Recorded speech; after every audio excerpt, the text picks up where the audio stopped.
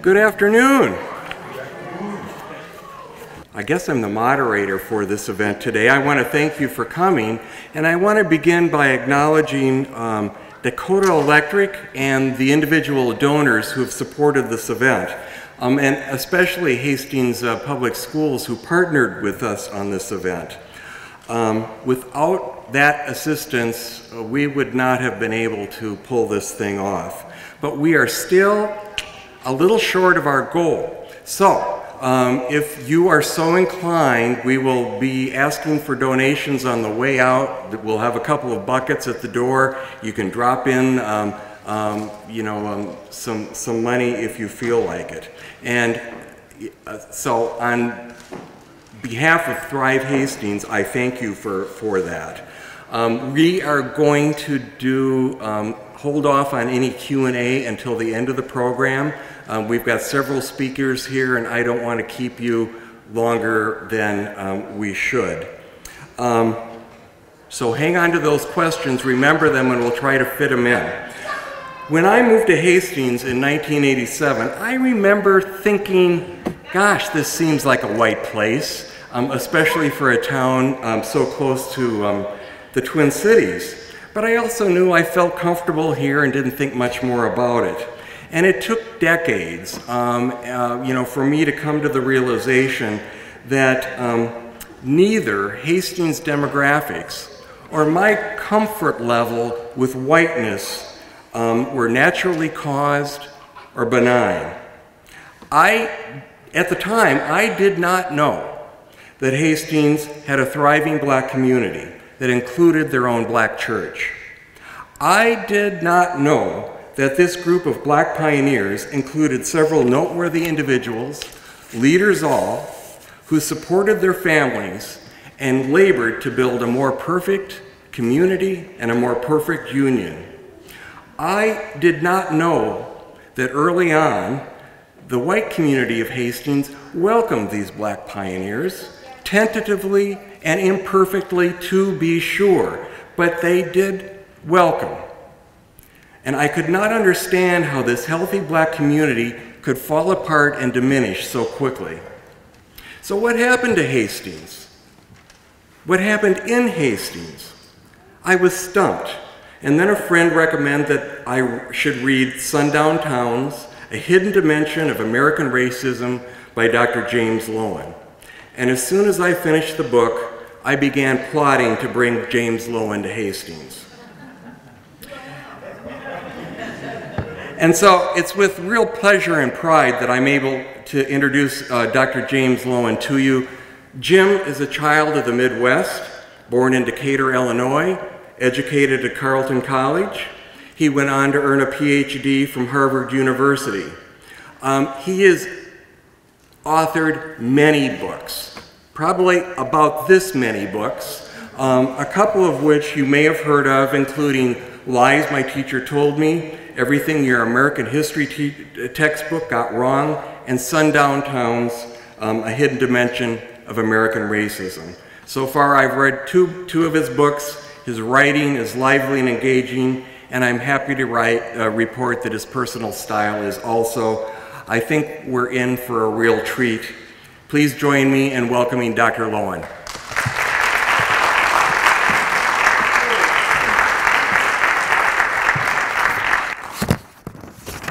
This thing is supposed to be on. Can you hear me okay? Yes. yes. Very good. The system works.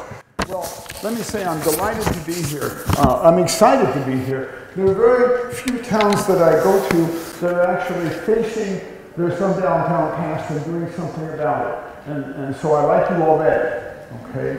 Uh, yesterday I spoke at the, I'm going to brag for just a minute. Yesterday I spoke at the Minnesota Historical Society, also known as the museum and it's, we were sold out, and I got, I got a standing ovation. Um, but what was interesting about it was their reaction to a little quiz that I'm going to give you. Um, I'm not sure, I guess I don't know that there's a clicker here, so I'll just stand here and do it. Um, what, what, I'm going to do is I'm going to talk about a uh, national movement I, I guess we have to call it movement, even though it was retrograde, it was in the wrong direction. Uh, my, my bestseller, Lies My Teacher Told Me, which is a bestseller, continues to sell just really well, um, is uh, an analysis of 18 high school history textbooks. I'm the only American ever to have read 18 high school American history textbooks. It was a near-death experience, you know. Uh, oh, they are so boring. Most, well, all of them almost. Um, and they all, one of the reasons they're so boring is they all tell the same overall story. And the overall story is very simple, and I can represent it right there. Well, maybe this way. We started out great, and we've been getting better and better, onward and upward, kind of automatically. Well, that's even if it were true, it would still be boring.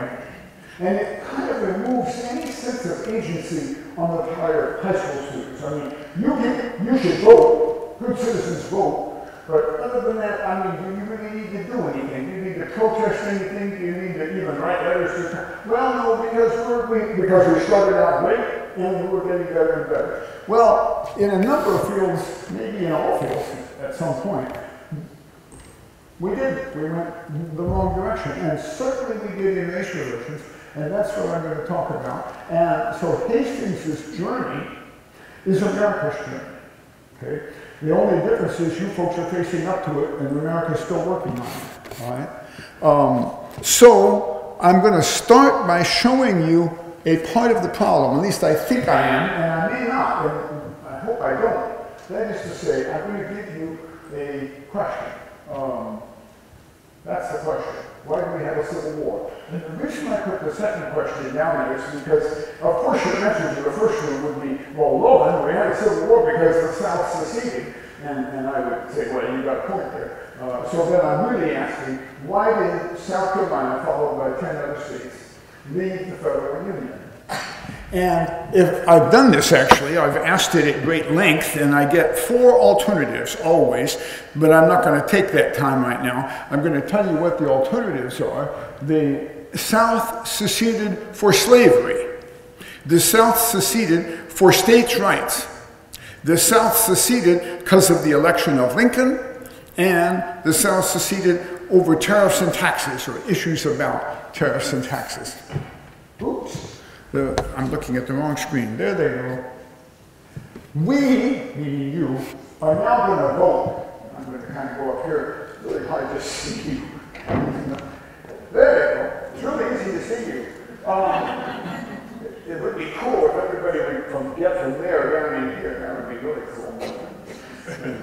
All right. Are you ready to vote? We're not going to discuss it, so you better be ready to go. Light so I can see you better. The South seceded for slavery. Hands up. Now look around. I'm going to look around. Hands up. Don't at other people before you vote. For God's sake. A secret ballot.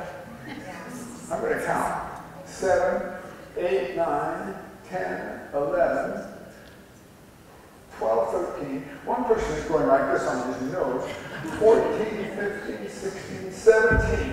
What, what do I do with that? Okay, 17. The South seceded for states' rights. Hands up.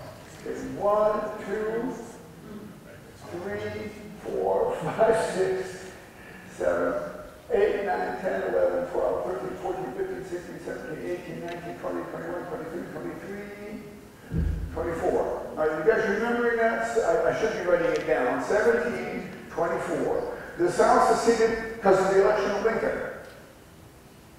One. Feels pretty stupid, doesn't it? okay. We'll get back to you. Uh, the South seceded over tariffs and taxes. One, two, three, four, five uh, three, four, five, six, seven, eight. Okay, so we got, what did we get? 17. We had a definite majority. Was it 22 or something like that? 21 for state rights. All right. Let's see how that compares to how it used to go nationally. Not too far off. I would say 21 out of all of those would be about maybe 48%, it's less than half, but close to half for states' rights. So it was maybe something like, I mean, I'm not doing the math right now. It was maybe something like 38%, 48%, one guy, and this was maybe a little higher, right? It's in here someplace, something like that. Not too different. Well, how do we do history? If I were teaching this, and I might even do this tomorrow in your high school, uh, I would. Um, I, I'm, I, I, what flashed into my mind was, don't tell your students, that is, those of you who have children in the school and so on, uh, about this about this election. I, I took it all back. If, if you want to tell them the right answer, I think it's very seldom that parents actually know anything as far as kids are concerned. so why don't you go ahead and tell them? um, that would be good. Uh, maybe they'll maybe they'll do better than you did. Oh. Uh, my, my question to them might be, how do we do history? Do we go by majority rule? If so, then the answer is states' rights. Well, states' rights didn't quite get a majority, but it clearly got a plurality, right? Okay. And nationally, it clearly got a majority. Uh, well, is that how we do history? By vote? No. no. We, what do we need?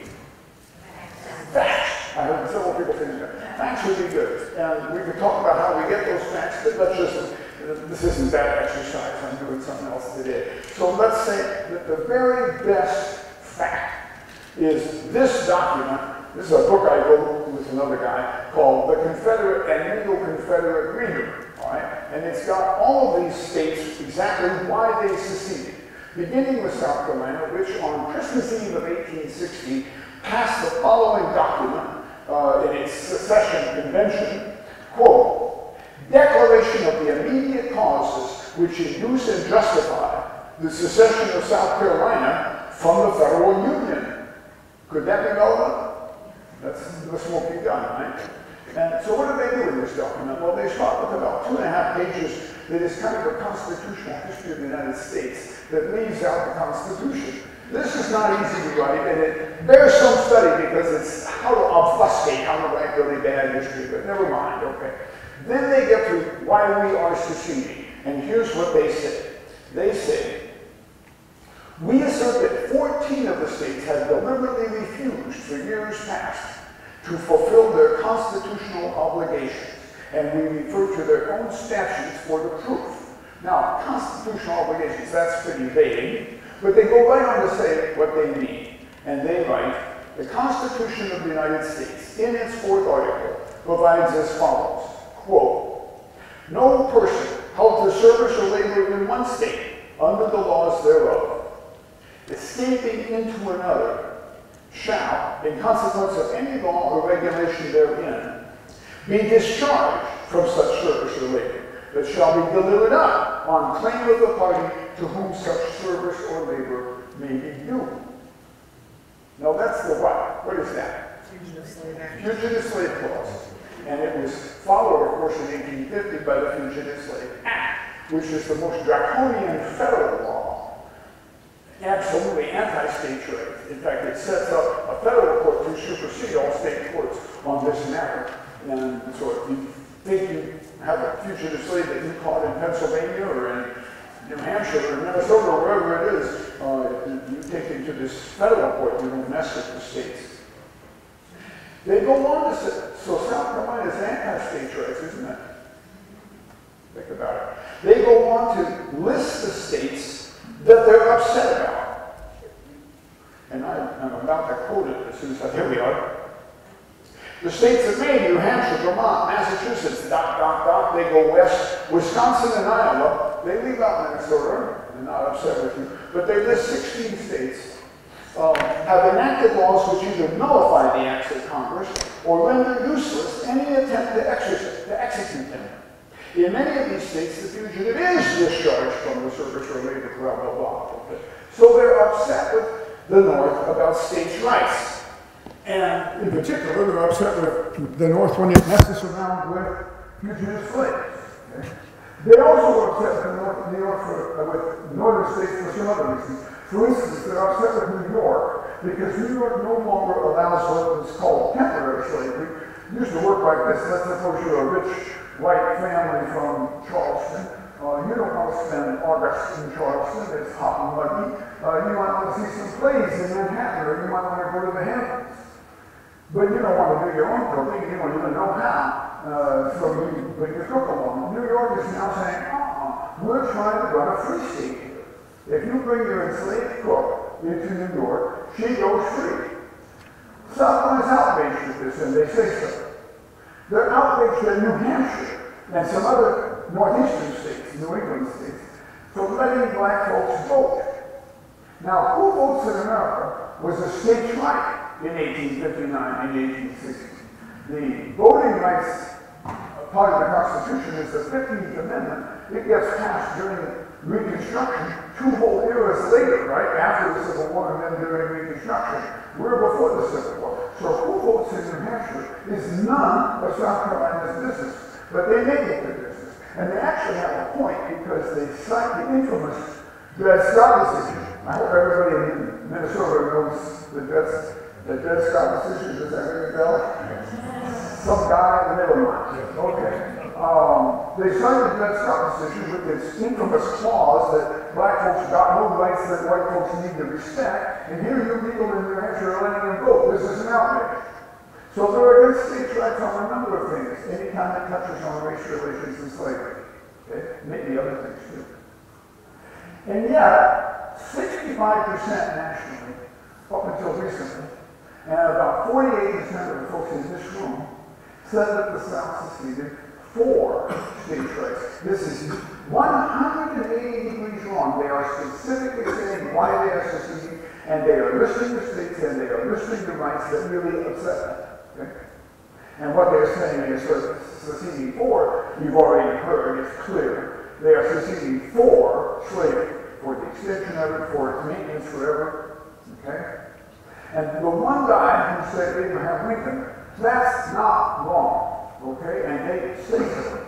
Uh, they, uh, it's a trigger. It's not an underlying cause. But they actually mentioned this new, they call it a black Republican. I actually checked, he's a white Republican.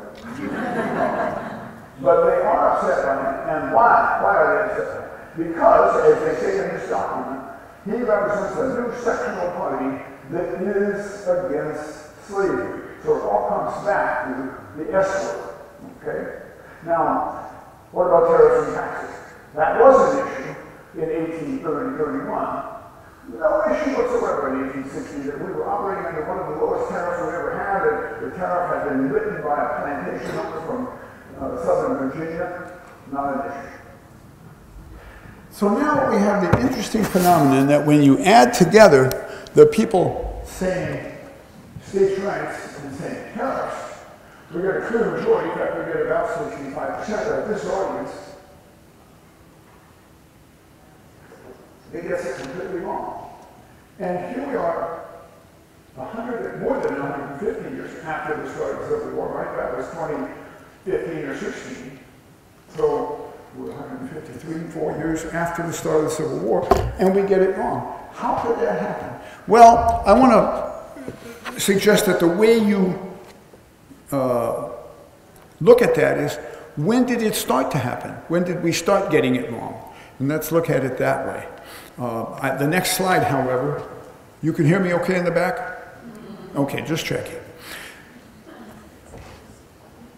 Well, it started, it started happening even before 1890, but it particularly got set between 1890 and 1940. And this is an era in U.S. history. Of course, you can set up your own eras the way you want, but this is called the nadir or nadir, both ways are fine, of race relations. Now, nadir, we're not talking about alpha, right? You can see how it's spelled. Uh, nadir is uh, English language word means the opposite of zenith, right? The low point. The nadir of race relations. And that's the period, 1890 to 1940. And I want to show you some pictures about what happened in the nadir and how the entire United States went worse and worse and worse in race relations during this 50-year period. And I'll get to that in just a minute. But let me just ask, what was its purpose? And by its purpose, I mean, what was the purpose of this complete lie that the South seceded for states' rights? See, at at the time, everybody knew because of all these statements they said why they were seceding. If you think about it, um, you, uh, here's, the- here's the homework assignment. Okay? I want you to go home tonight and bring up on the web or wherever you bring things up uh, Abraham Lincoln's second inaugural. And you will see that at a certain point he says, and all knew that slavery was somehow the cause of this great conflict. Now, I'm just quoting slightly. He actually said all knew that this great interest, but he had just been talking about slavery. So that's why I removed the pronoun, this great interest in made it slavery. And he's speaking that in March of 1865 when he's getting inaugurated for the second term. And all did know that slavery was the, he's not saying that in order to get anybody worked up. He's saying it so he can change the subject of this short but very powerful and important address. He's now going to talk about slavery. And when he goes on to talk about, when he talks about slavery, in two very long sentences, it's the most searing and important statement about slavery ever made by any American president. So please go home and read the second inaugural and think about it tonight. But what I'm saying about it is everybody all knew in 1865 that the South seceded for slavery.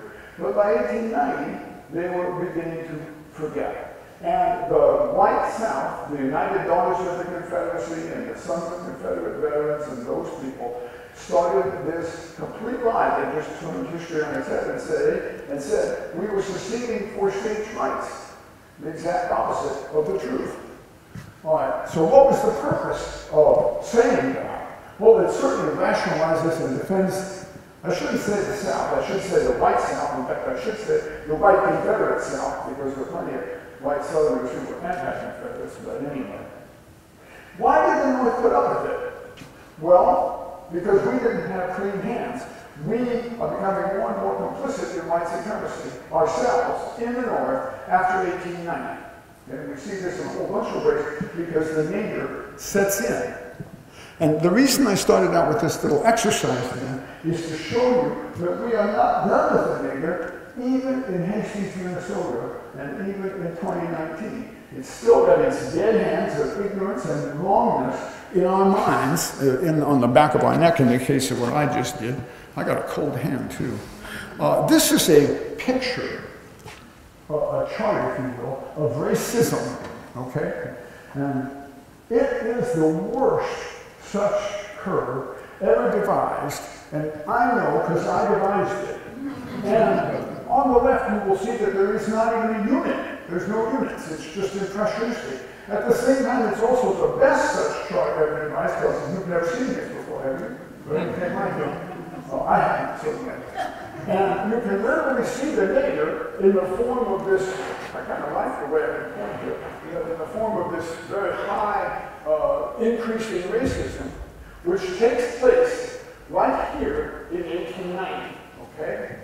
Now, I can't give you a whole lecture on race relations history in the United States as to why, why that's so, but let me just show you some pictures of the nadir, and in, as I show you the pictures, I will talk about the three underlying causes that cause racism to shoot up um, in, at the end of 1890 and then to remain high uh, until 1940 and, and still somewhat lower re more recently.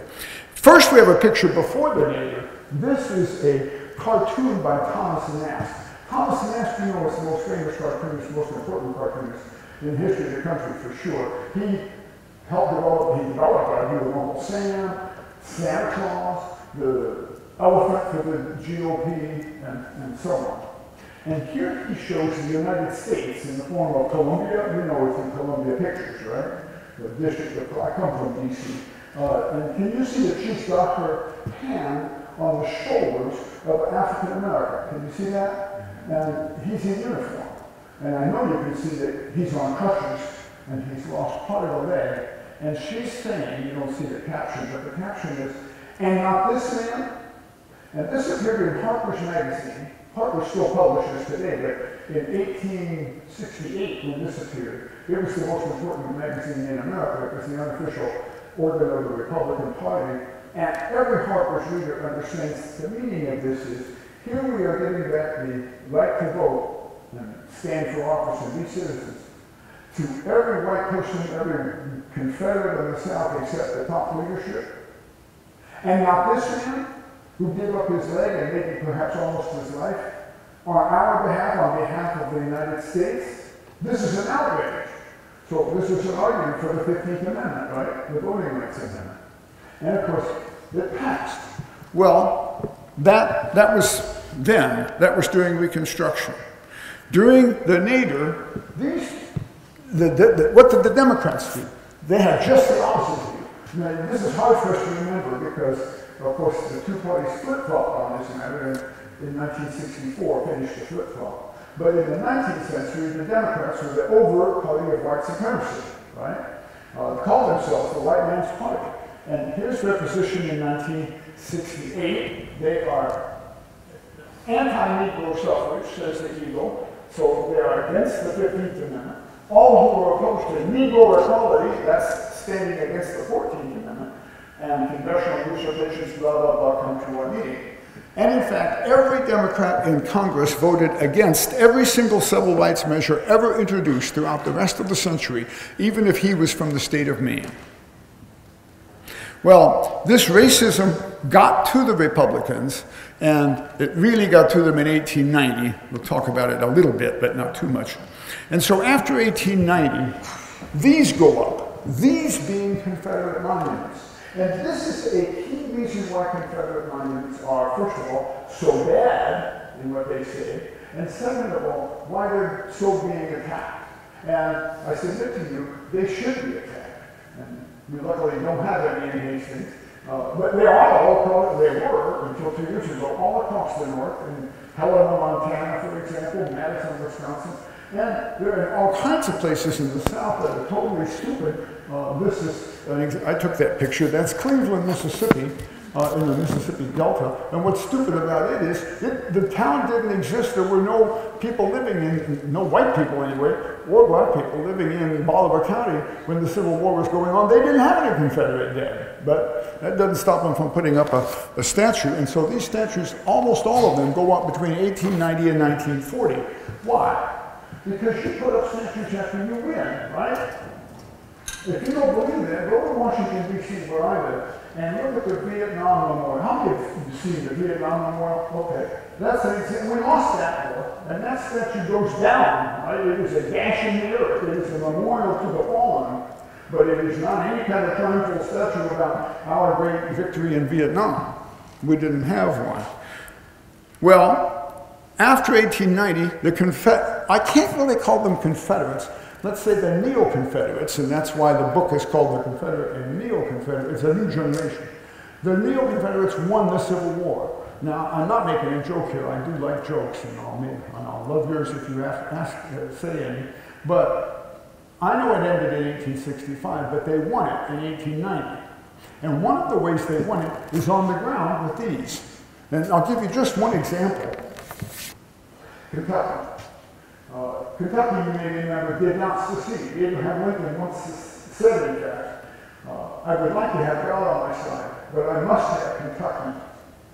And this is a very interesting comment, and it has to do with why the, it's one of the reasons why the Emancipation Proclamation doesn't say anything about slavery in Kentucky. Right? He's got to keep Kentucky on his side. Kentucky did send 35,000 troops to the Confederacy. But it sent 90,000 troops to the U.S., and it never succeeded. Today, Kentucky has 74 Civil War monuments. Two of them are for the United States, and 72 are for the Confederacy. So the Confederates got Kentucky, they got it after 1890. Does it make a difference? You betcha. When you have a Confederate landscape, it's a lot easier to have a Confederate mindset shall we say, a Confederate heart. These go to their all-time high. This is a photo of a lynching, right? And lynchings go to their all-time high between 1890 and 1940. A lynching is You understand, it's the public murder of an individual done with considerable support of the community. You can literally see the support. There's a bunch of nicely dressed men and women happily being photographed while they commit a felony. Why? Because they know, or at least they believe, comes off correctly in this case, then nothing will be done to them about it. Okay? And uh, this man happens to be black. You don't have to be black for a but two-thirds of the victims were. All right, this is my favorite picture of the nadir, if you can imagine having a favorite picture of this thorough era. And by the way, I've shown all of these pictures to kids as young as fifth grade, and they can get them and they do a great job. So what do you see? Can you see that this little white boy is whipping this black man? Okay?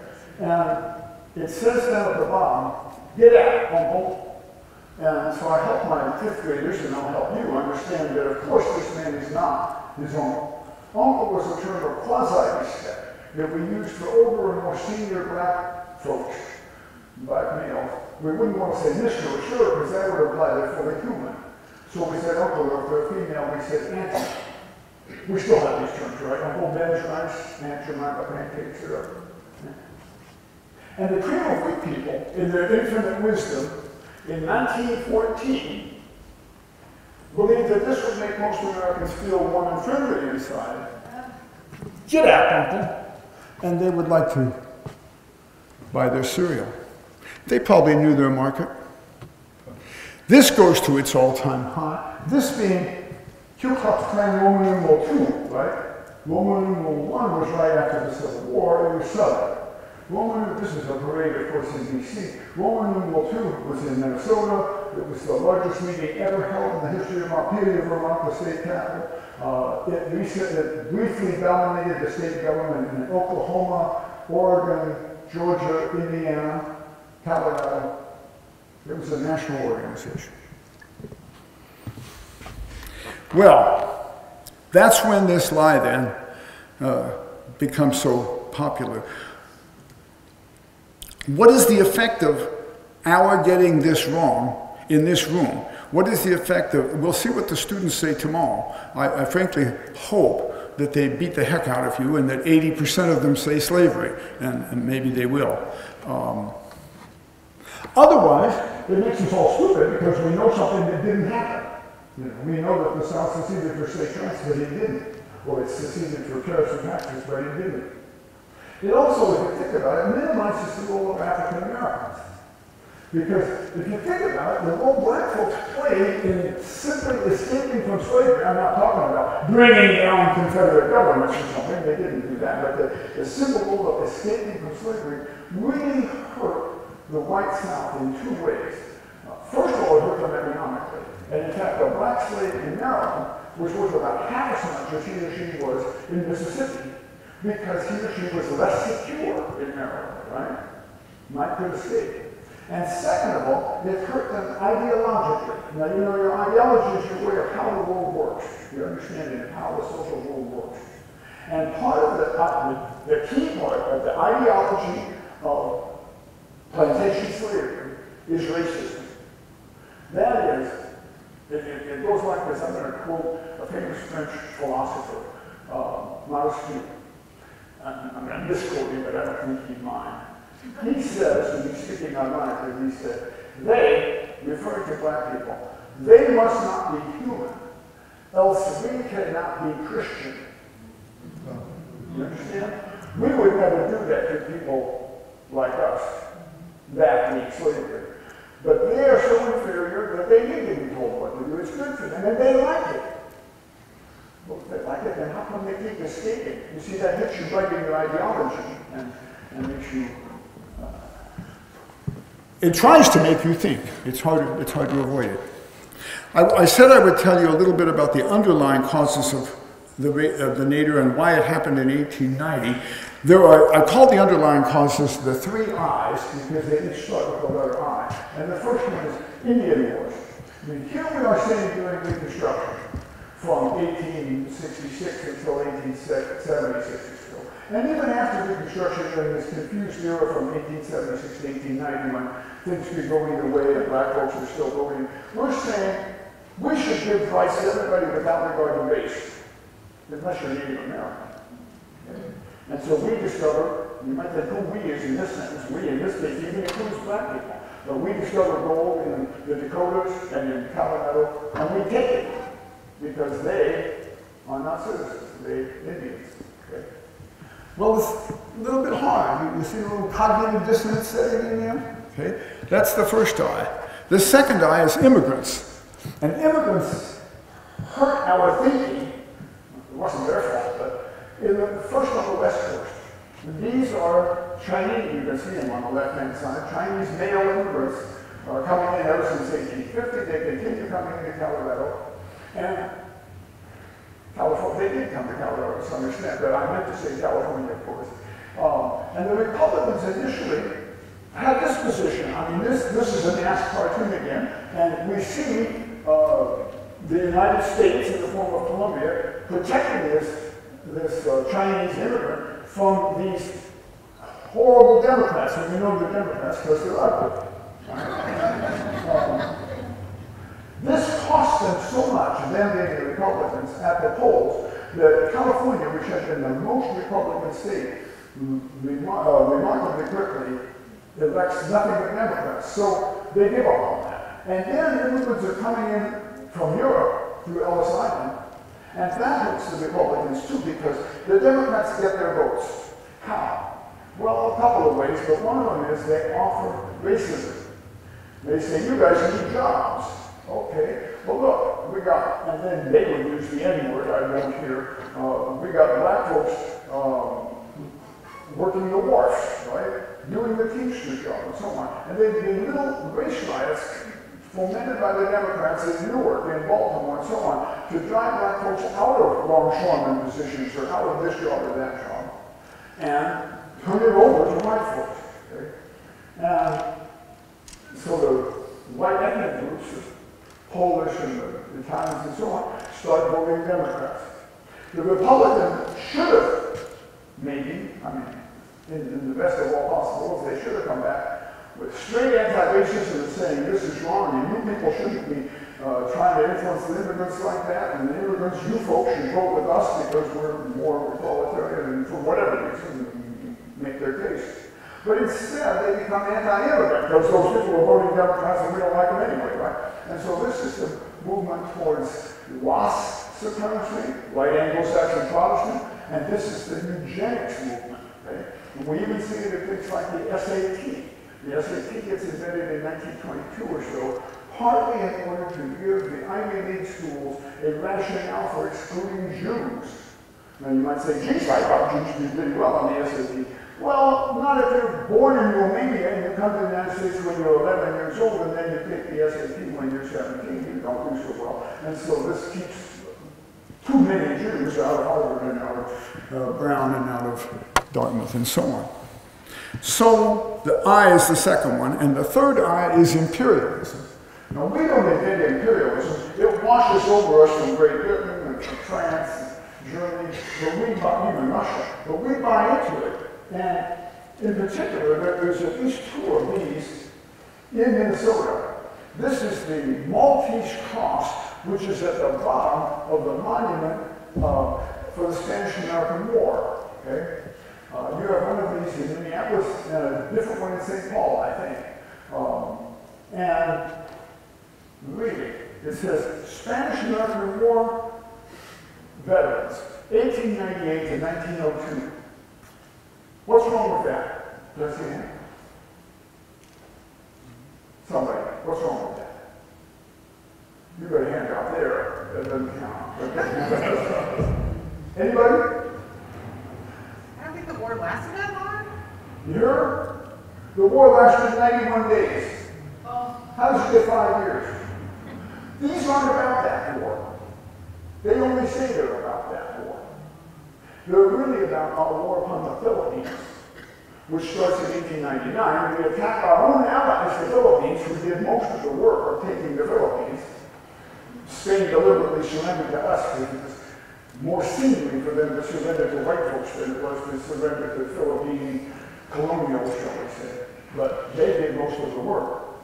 And on July 4th, 1902, President then Teddy Roosevelt declared victory. Some people say the war went on for another 11 years. Does this sound familiar? Be some other war, but anyway. Um, so that's the third I. And the Democrats actually used this against the Republicans. They said, um, why are we attacking Filipinos? They're setting up a democracy. And the Republican governor of the Philippines replied, quote, our little brown brothers are, are not ready for democracy. And the Democrats said, well, then what about our little black brothers in Mississippi and Alabama? The Republicans could make no cogent reply, right? So for those three reasons, those underlying reasons, in 1890, and the reason we dated specifically from 1890 is at the end of 1890, three things happened. What used to be called the Battle of Wounded Knee, but is now more accurately called the Massacre of Wounded Knee. And so Native Americans go into their nadir for sure. They use the last shards of their, of their independence. Second of all, Mississippi passes its new constitution in 1890. Nothing whatever wrong with its 1868 constitution, except that it lets black folks vote and be citizens. And in 1890, they had enough of that on white Democrats, and so they specifically set, set up a constitution openly designed to eliminate that. And the United States does nothing, even though it flies in the teeth of the 14th and 15th Amendments. And seeing that, every other southern state in the states as far away as Oklahoma follows suit by 1907. And third, the United States Senate fails to pass, more or less by a single vote, the Voting Rights Act, which is called the Federal Elections Act of 1890. Not a bad bill, not as good as the 1965 Act, but not bad. It had been passed by the House, would have been signed by Republican President Benjamin Harrison, but it fails by a vote in the Senate. And after it fails, the Democrats tar the Republicans, as was their custom. And just a warning, I'm going to use the N word. I'm of course not using it, I'm quoting it because I want the Democrats to stand in their racism. Uh, they accused the Republicans, you people ain't nothing but a bunch of nigger brothers, they said. And the Republicans in the past had replied, you're darn right, somebody has to stand up for them. It's an outrage what you people are doing to black voters every fa- fall election, and the white Republicans too. But in 1891, they made a new reply. You remember what the charge was. I won't repeat it. The new reply was no beyond, and they moved on to other issues. And African Americans were without serious political allies, increasingly after that. So the nadir sets in. Well, let me show you a couple of more. Uh, let me just, let's get into the legacy of the nadir that we're dealing with. Um, two legacies. I meant to put a question mark. I don't know what happened. There used to be a question mark right here because I didn't know what was going to happen. But I'm going to leave it alone because there was distorted history right in this room. And then the other legacy of the nadir is sundown towns. And of course, you folks are so far ahead of almost every other audience I've ever talked with. You already know what a sundown town is.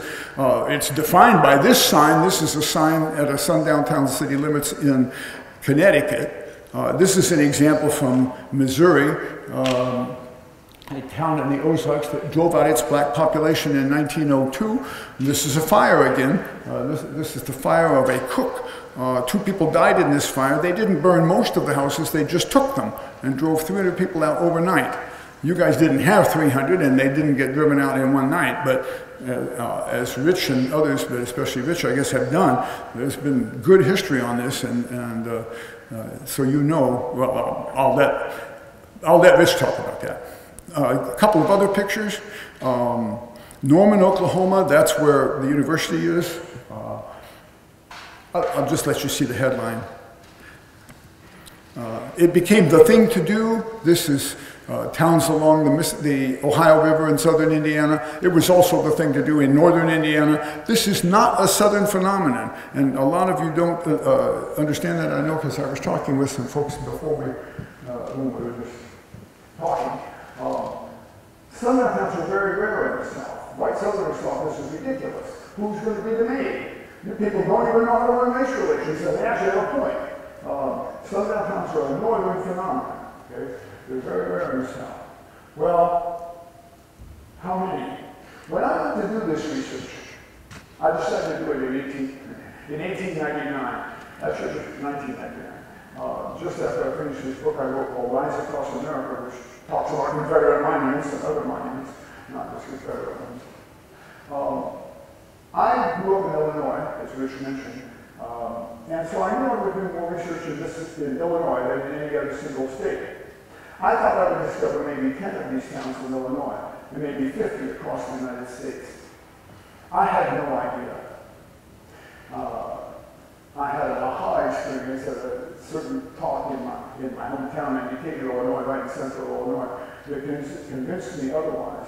And I learned so much. I am now at a count of 506 sundown towns in Illinois alone, which is two-thirds of all the towns there are in Illinois.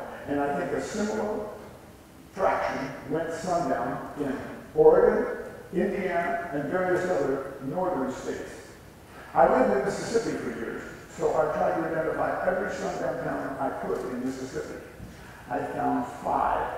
That compares to 506 in Illinois. How many of you seen this movie, The Green Book? A bunch of you. Isn't it astounding? This interesting couple drives through Indiana, where there's at least 400 sundown towns, across Illinois, where there's 506, into Iowa, where there's over 200. Never comes up with a sundown town. Then they go to St. Louis.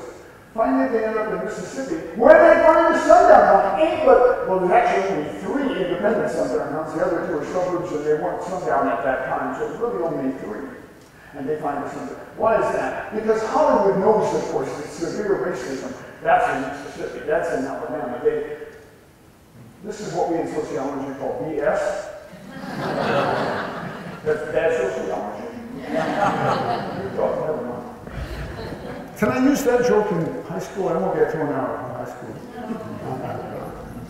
Well, anyway, all right, to be serious about it. And where are they? Well, in Minnesota, we don't really know because so little research has been done on it. You folks have proven it for Hastings.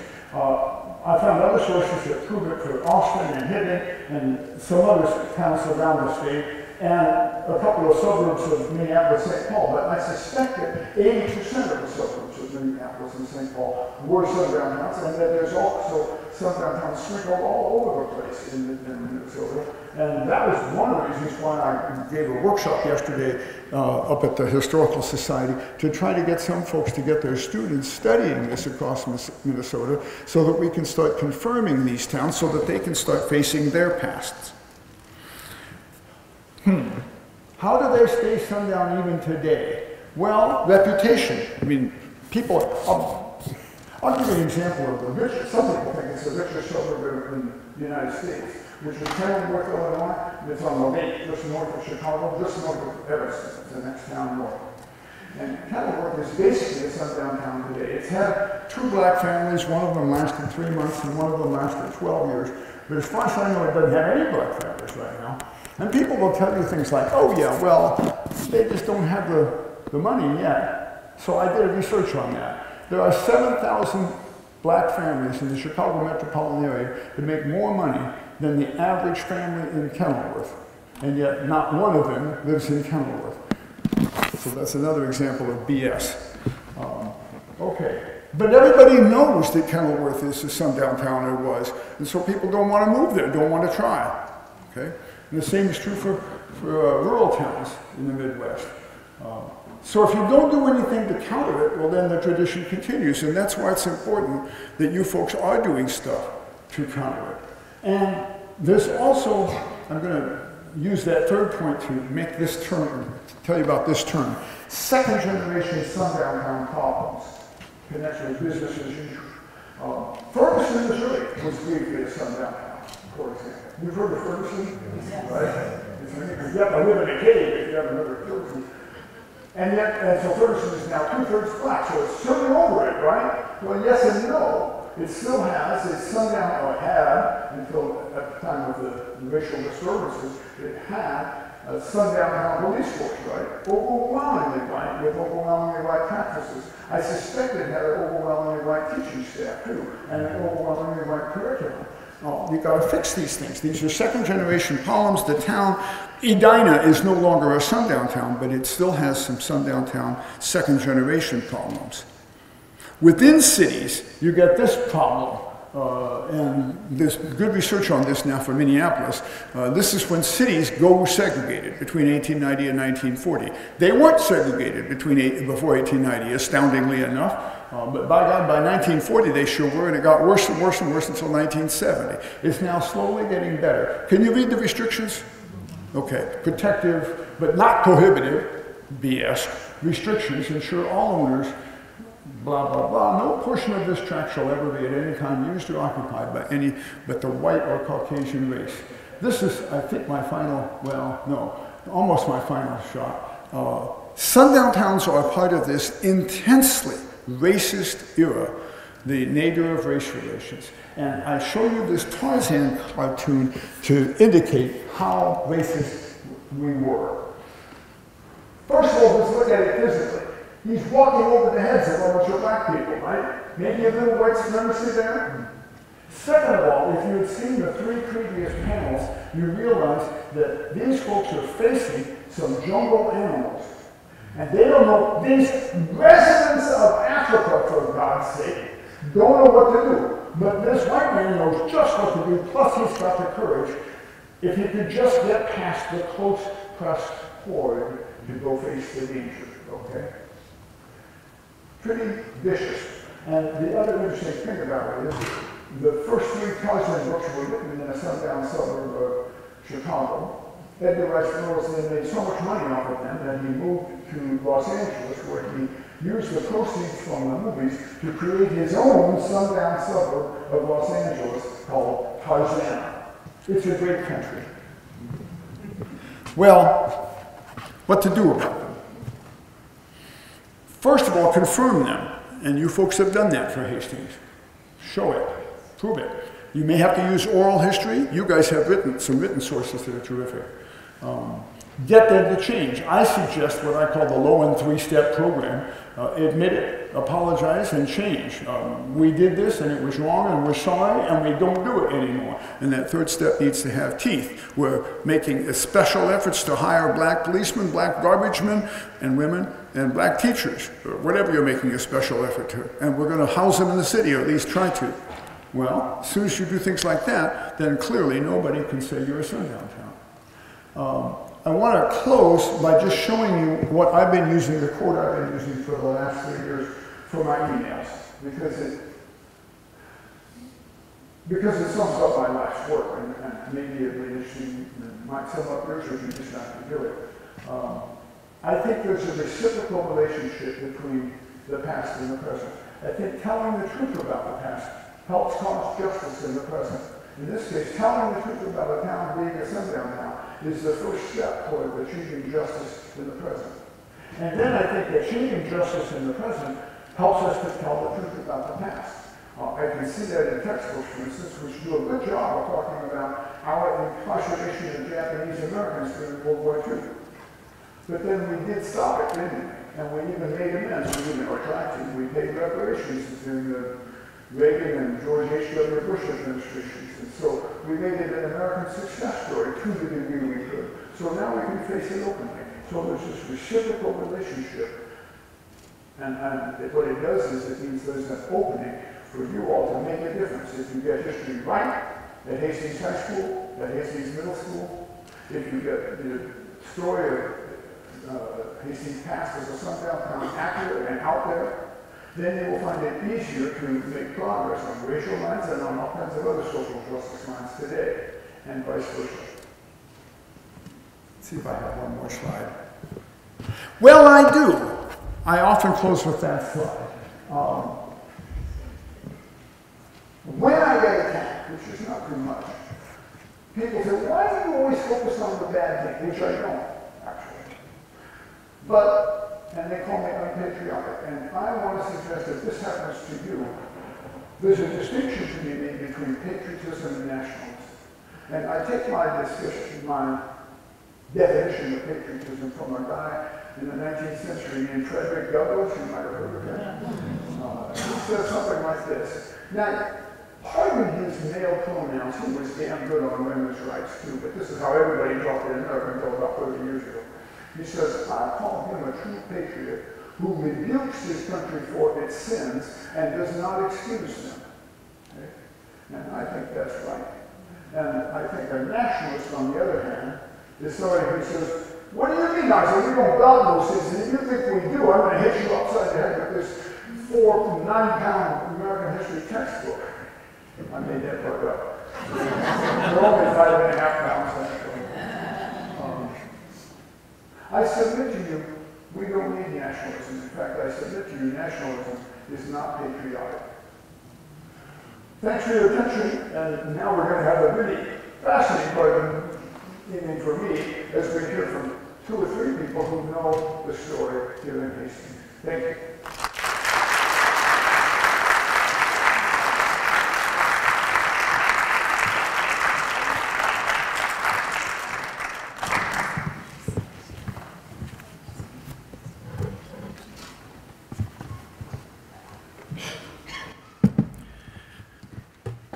Oh, my kids are going to laugh at me because I'm not quite sure how to get back to my. James?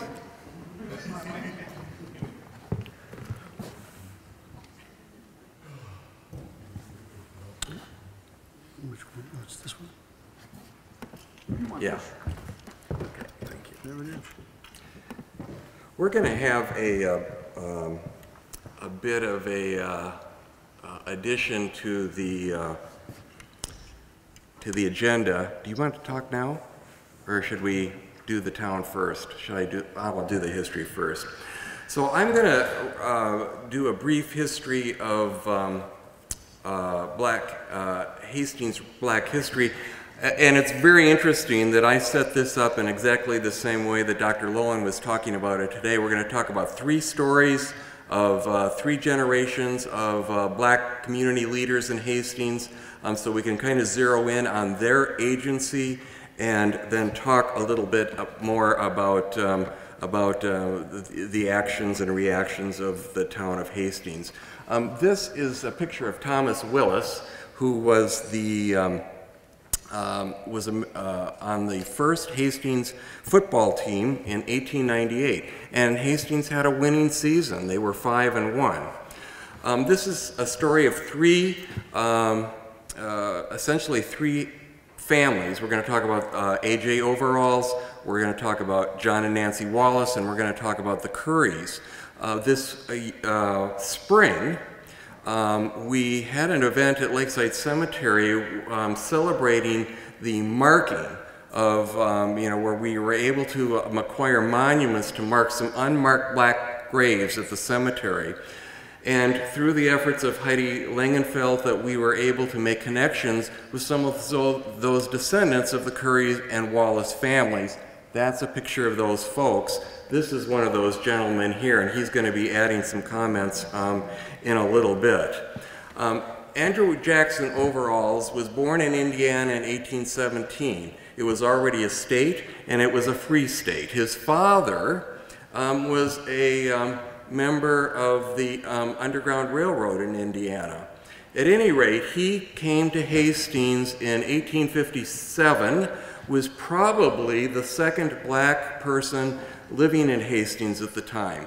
He was a barber by trade, um, but he was a very skilled leader and organizer. Um, when he got to Hastings, um, and at this point, oh, I don't remember my Minnesota history exactly when they became, Minnesota became a state. 1858, thank you. Um, the, the Constitution at that point did not allow black men the right to vote. And uh, so the black community in Hastings nominated AJ to um, write a petition um, um, um, to be taken to the state legislature um, petitioning for the right to vote. Um, his petition, along with petitions from the uh, cities of Rochester and from Winona, Winona, were delivered to the state legislature. Um, the effect that they had on, on the legislature, I don't know, but I do know that um, the state of Minnesota did pass um, black suffrage two years before the federal government did. Um, in addition to those sorts of activities, um, he was also a statewide leader in the Sons of Freedom, which was a statewide organization dedicated to black empowerment and self-help. He organized a black temperance society in Hastings, and he even politicked for your, um, Ulysses S. Grant um, as he ran for reelection um, in 1872. John and Nancy Wallace was the next generation of, of black leaders, and um, and again, I, I, show a picture of the headstone because there are no photos um, that exist of, of these two. Um, they began their lives as slaves in Tennessee. John was born approximately um, or somewhere around 1830. We're not quite sure. Um, and uh, the Hastings Pioneer Room records record only that John was an escaped slave. And since we've made connections with the uh, with the descendants of the Wallaces and Currys, we've learned a little bit more information that is, is dramatic and compelling. Um, John was a slave. One hot day, he was laboring in the fields, and he asked the overseer for permission to get a drink of water. And the overseer denied him the opportunity to get a drink of water again and again and again. So finally, um, John went and got that drink of water and refreshed, went over to the overseer, struck him, and killed him. And um, obviously, then he was an escaped slave and he headed north um, and he joined Company F of the Minnesota 3rd Infantry. Um, it wasn't too much later that the Minnesota 3rd lost a battle to um, General Nathan Bedford Forrest. They surrendered. It was um, um, highly embarrassing, and they actually became then um, um, uh, prisoners of war. Um, a sidebar here, Nathan Bedford Forrest became the first grand wizard of the KKK. Dr. Loewen talked about the first KKK and the second. This would have been the first KKK. So um, there was a prisoner exchange. Um, the Minnesota 3rd um, was brought back to Iowa, or excuse me, Minnesota, and um, that's how John made his way. And finally, he uh, um, ended up in Hastings. Um, he purchased the freedom for his wife and his two sons. He arranged for a white man to transport those two, uh, or those three people, north. And something happened when they were in St. Louis. Um, one of the sons was taken away. And uh, was he kidnapped? Was he resold into slavery? We don't know. But there were weeks of searching, yielded no information. And finally, Nancy and her son, remaining son James, made their way to join John and Hastings. Son James grew up, married, moved next door to his parents, and he had seven children. And the names of um, John and James Wallace and Jim Curry, who we're going to be talking about in a moment, are featured um, um, uh, in the founding documents for Brown's Chapel, the American Methodist Episcopal Church um, in Hastings. John died in 1900. This is a picture of the Currys. Um, Jim Curry was um, born uh, to a free, poor farm family in Virginia in 1859.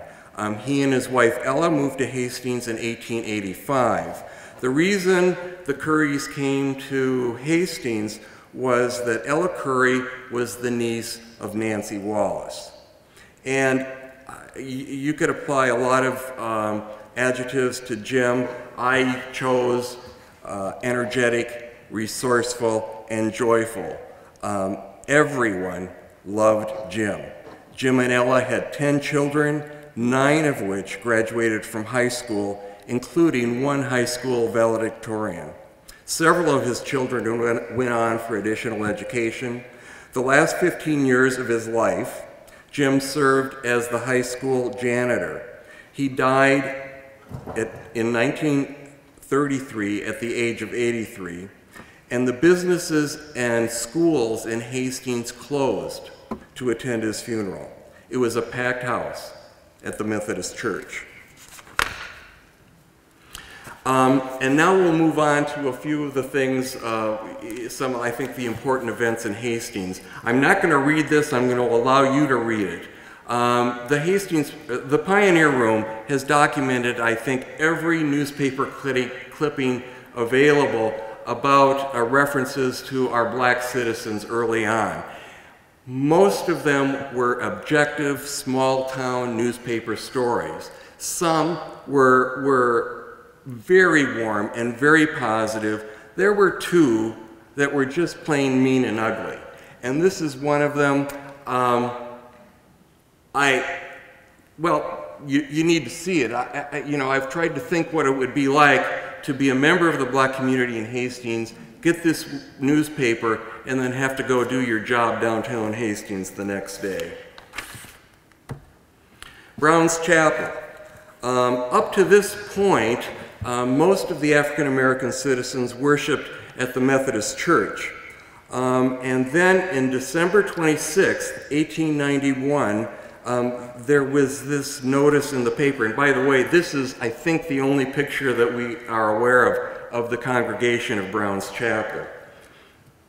Um, in 1891, uh, there was this notice in the paper Experience has taught us the necessity of having a place of our own where we may become permanently situated and worship God according to the dictates of our own consciousness without shame or fear.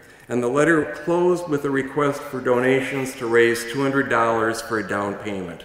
The community also helped um, uh, Brown's Chapel meet its loan payments occasionally. So the city rose to the occasion to help the black citizens form their own church. Um, and then at that point, um, in 1892, they're ready to open the church. There's, this invitation went out. Um, it was posted in the newspaper inviting the community to participate. They, um, and they purchased, excuse me, um, they purchased a, a, a, building at 5th and Sibley, um, and when it opened, they had choir members from black congregations in St. Paul and Minneapolis come down, um, and uh, ministers from neighboring churches, because, you know, in this part of town, um, there are a lot of churches. So they had um, the Methodist Church, the Presbyterian Church, and um, did not participate, uh, Baptist um, um, participated um, in the opening services. They had three services that day. Um, in 1907, um, there was this notice that appeared in the newspaper. There was fire at the African Methodist Episcopal Church. There is no doubt that it was the work of an incendiary. And what it means is that it was arson. And uh, the curious thing about this is that, you know, we've already demonstrated that there was this track record of community support for this church. Um, not only community support, because they raised several hundred dollars to get this church going and to help um, this small congregation maintain their church, but then there were the other neighboring churches in the neighborhood who, you know, were willing and able to participate. Well, um, the churches um, uh, torched. Um, it's not destroyed, but it is unusable. Um, but there is no record of an investigation. There is no record of any church or individual offering assistance to Brown's Chapel. Um, and I just, this is why I was confused, and this is why I was looking for a person like James Loewen to explain this to me. So, you know, how is it that this town, who had a track record of supporting, um, um, you know, this group of people, somehow their hearts had hardened, and why was that? Um, and it should be noted that uh, the burning of black churches already had a long history in the, in, in the United States. There were four black church burnings in Philadelphia between the years of 1825 um, to 1850, and four people died in those. In those um, so burning a church already back then meant something. So um, the church, um, uh, they lost their legs, they disbanded, and most of the members returned to the Methodist Church to worship. The Klan, um, in the 1920s, um, the second iteration of the Klan was in its ascendancy, and the Klan was very strong um, in Hastings. Um, this is, uh, uh, it's not an exact copy of, obviously, I just um, um, copied the headline Klan gathers at Sorg Farm. The biggest assembly of hooded ever at this vicinity is held in Nininger. 800 cars parked at the farm. 800 cars. They estimate the crowd to be about 1,200 people. Um, the, and this was the second of two um, rallies. The other big rally was in 1925 um, in town. Um, it actually there was some violence involved. Um, they tried to burn a cross within the town, and the uh, the mayor stood their their ground and refused to allow them to do it, and they had to take the cross burning out of town. Um, it's interesting to note that at both these rallies, the Reverend W. E. Thompson offered the closing prayer and he was the Hastings United Methodist minister in 1925. And in 1926, he'd moved on to Stanton, Minnesota. Here's um, the Hastings census data, and again, this is provided by Heidi Langenfeld and the um, Pioneer Room, but you can see in 1857, we started with one um, um, uh, black citizen and by 1870, following the Civil War, we're up to 40, and then it kind of hangs for the next number of years in that 30 to um, you know range, and then by 1920 it drops to 10. By 1950 it drops to one. And um, so take a look at those numbers, and then take a look at what happens um, for the overall um, Hastings population numbers. And then in 1954, um, this notice appeared in the Hastings paper. Um, Henry Thomas, 74, the city's only Negro resident, died. And um, thus we close 97 years of Hastings black history. Um, you can read more about this, and it's, this is all research and writing um, that Heidi, um, Heidi Langenfeld has done. Um, and we have um, at Lakeside Cemetery, we've got a, a Black History Month link, um, and you can read her articles on, on our Black history. It's quite interesting. And of course, there's always more information in the Pioneer Room. I've got to get a big shout out to, to uh, Heidi and to uh, James Curry who is going to be speaking here in just a moment. Thank you.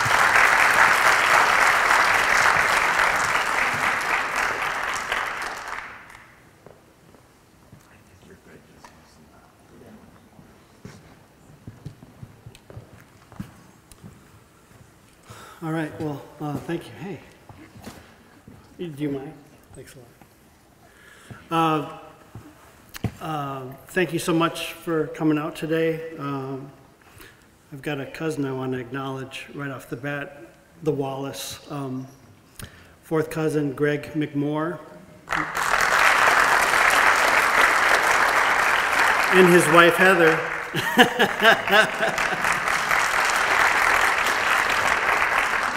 it's really only because of um, an errant uh, email that I was able to uh, connect with Rich, um, and then sort of be a part of the uh, Lakeside um, uh, ceremony that we had at, uh, not ceremony, but coming together that we had in May.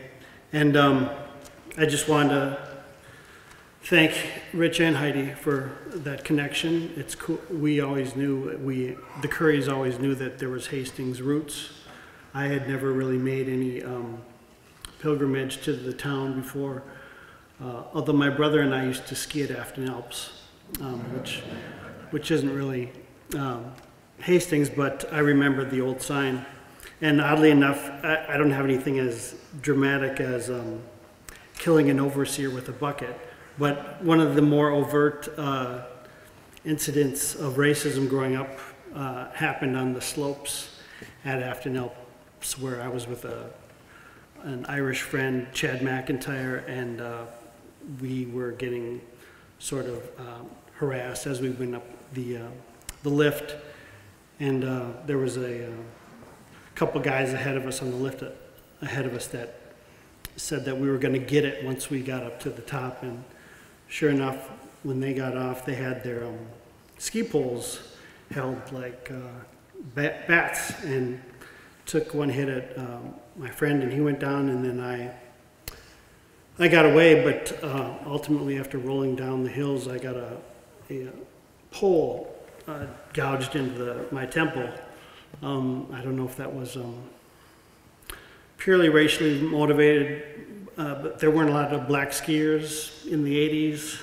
Um, maybe there aren't that many now, but um, um, I digressed. I just thought I'd throw that in there um, as something that did stand out, and I don't know if it subconsciously kept me away from going to southern Minnesota, but um, I was born and raised in Brooklyn Park, uh, just outside of the Twin Cities, which is now affectionately called Brooklyn Dark, um, along with my high school known as Dark Center, which is Park Center.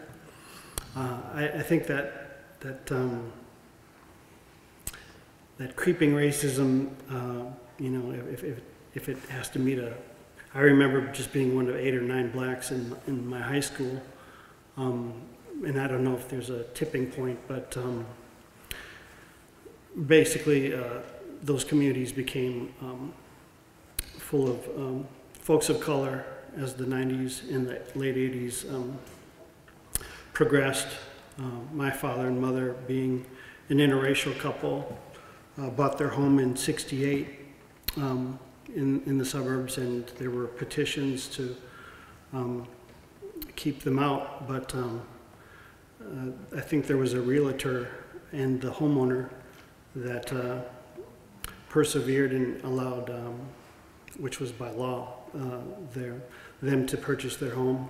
And um, I don't think I want to run down the whole history, but we'd always grown up, the Currys, um, knowing that my father had roots in South Minneapolis, my mother roots in Wayzata, and the Currys uh, and their roots in, in Hastings. So it's it's just been a pleasure uh, this past year to sort of make connections, and I'm so honored to have uh, Dr. Loewen here to speak and uh, give greater context to it. So um, let's let's follow those last three steps of uh, Dr. Loewen's and um, make this a, a better union, I suppose. All right, thanks.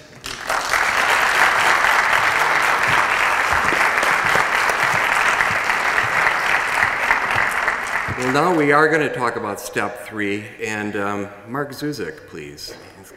Going to talk a little bit about Hastings or Thrive Hastings and where we go from here.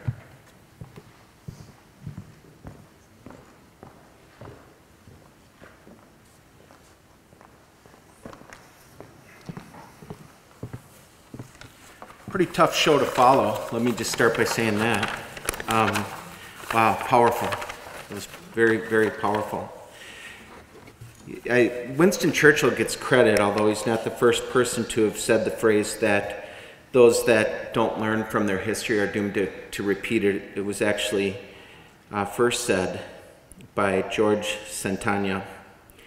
And, and that's part of what we're, what we're doing here. Of course, Hastings has a history of, you know, we've, we've seen some very overt racism, and we also know that we're not the only community like this, where, where there have been problems. And as a school administrator in Hastings, I noticed two trends that were really significant. One was as I would go to, to meetings and learn how things were going in other communities, I was hearing just some horrific stories about the way that, that children of color and families of color were being treated in other communities. And the second trend was we were looking at our demographics in Hastings, and we have been very steadily increasing in the percentage of our student body who are children of color.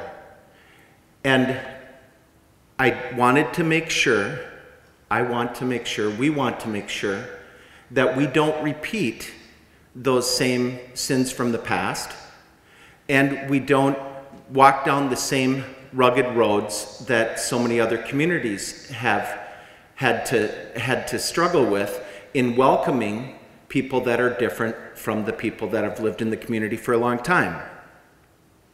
And so, with that partial context, and with another piece of context, is that we all know that people are different in very many ways in who they love, in how they identify, in the, the wealth in their family, or the socioeconomic struggles that they have, the color of their skin, their ethnic groups, and we need to make sure that all people are welcome because it's good for people, it's good for families, it's good for schools, and it's good for a community.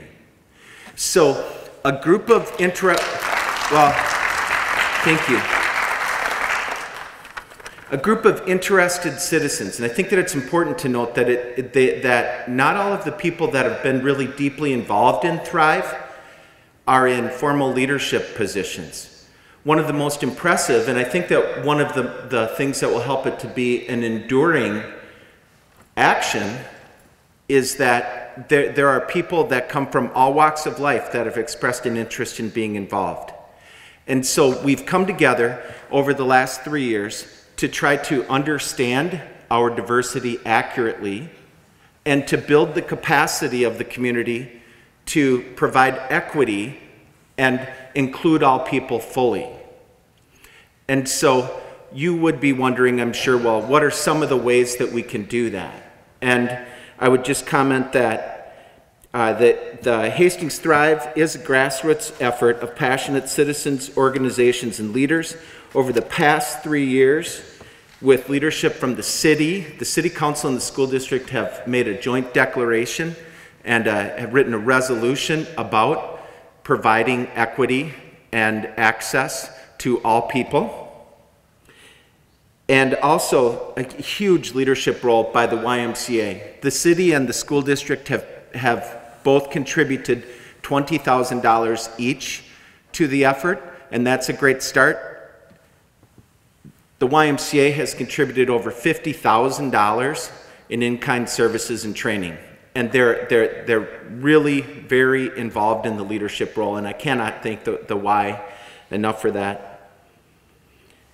Some of the things you can do, as Rich said, there, there are buckets on the way out for a free will donation uh, to, to help to, to cover the, the, the cost of today's program. And then this is just one of the speakers that will be presenting, one of the presentations that will happen throughout the community over the course of this year. We have a speaker series, and each month there's an event. To find out more about these and other educational opportunities, the Hastings City webpage has a link to Thrive. And again, this is, this is so important I, I just know that we can't teach our history if we don't know it. And this is part of what we can do to make sure that we don't repeat it.